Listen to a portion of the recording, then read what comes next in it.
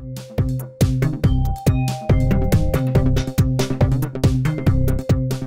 En Quintana Roo los crímenes de mujeres se relacionan principalmente con el crimen organizado, lavado de dinero y trata de personas, y hasta el momento se registran los homicidios de 49 mujeres, de los cuales 21 han sido reconocidos como feminicidios, problema que aseguró María Salguero Bañuelos, se incrementa en México debido a la impunidad. Durante un evento organizado por la Comisión de los Derechos Humanos del Estado de Quintana Roo como parte de la jornada 16 días de activismo de derechos humanos, la ponente Salguero Bañuelos informó que al corte de agosto pasado se había registrado 554 feminicidios y 1.751 homicidios dolosos, lo que da como resultado al asesinato de 9.48 mujeres cada día, por arriba de la cifra de 9 descensos que dio a conocer la ONU. Pese a la gravedad del problema, afirmó que en Quintana Roo aún se está a tiempo de rescatar el Estado, por lo que hizo un llamado a estar atentos de las autoridades encargadas de la Procuración de Justicia publique